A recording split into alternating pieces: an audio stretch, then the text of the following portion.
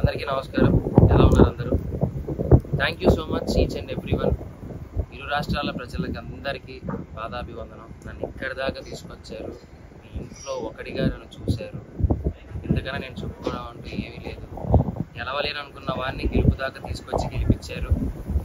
అంతకన్నా నాకు ఇంకా వేరే అదృష్టంగా నేను ఏం ఫీల్ అవ్వట్లేదు. Thank you so much to each and every one and బాధాకరమైన విషయం ఏంటి అంటే అందరూ చాలా మంది అడుగుతున్నారు. నేను దాని గురించి పెద్దగా చెప్పాలనుకొని అనుకోలేదు. ఆ బాధలో ఉండిపోయాను. చాలా బాధపడ్డాను. కారద్దాలు పగలగొట్టారు. బయటికి రా నీ ఎంతో చూస్తా అన్నారు. నేను ఒక్కనే ఉన్నప్పుడు మీ ఇష్టం వచ్చింది చేసుకోండి. నాకేం భయం లేదు. ఎవరికి భయపడాల్సిన అవసరం లేదు. కానీ మన ఇంట్లో కూడా ఒక అమ్మ ఉంటుంది.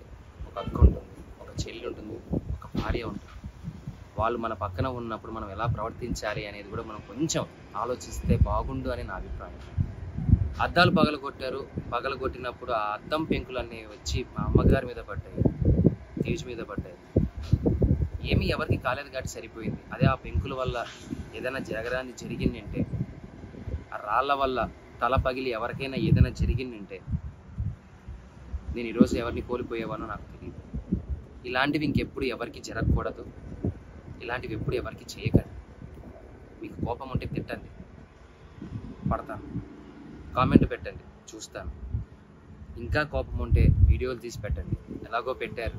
నా కుటుంబాన్ని మొత్తం బాధ పెట్టారు. నేను ఏది పట్టించుకోవట్లేదు. ఎందుకు అంటే నేను నమ్ముకుంటే నా హీరో నా గురువు మాస్ మహారాజా రవితేజ గారు ఆయన వచ్చి నాకు అవకాశం ఇచ్చిన రోజు నేను గెలిచాను.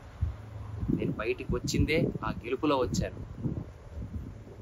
కానీ గెలిచి ఒక ఆనందంతో బయటకు వస్తాను అనుకున్న నన్ను నా కుటుంబాన్ని రోడ్డు మీద నించోబెట్టారు.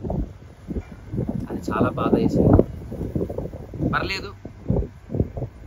నా నన్ను ప్రేమించే వాళ్ళు నన్ను అభిమానించే వాళ్ళు ఉన్నారు కాబట్టి దేవుడు చల్లగా చూడబట్టి మా అమ్మకి నా భార్యకి ఏం కాలేదు. నాకు ఏమైనా పర్లేదు.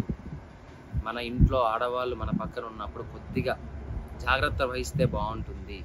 జాగ్రత్త ఏదైనా జరిగితే కప్పు పోతే తిరిగి తెచ్చుకోవచ్చు డబ్బు పోతే తిరిగి సంపాదించవచ్చు మనిషి పోతే తిరిగి తీసుకొని రాలేమండి.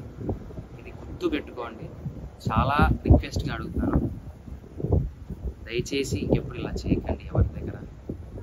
థ్యాంక్ యూ సో మచ్ ఇప్పటికీ మీకు నా మీద ఏదైనా కోపం ఉంటే ఎక్కడ రమ్మంటారు చెప్పండి వస్తాను మీ ఇష్టం.